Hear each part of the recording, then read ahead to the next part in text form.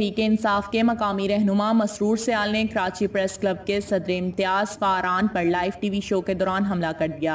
निजी चैनल के प्रोग्राम के दौरान सीनियर सहाफ़ी इम्तियाज़ फारान ने पिशावर रैपिड बस सर्विस की तमीर में तारीख के हवाले से बात की तो मसरूर सयाल तैश में आ गए।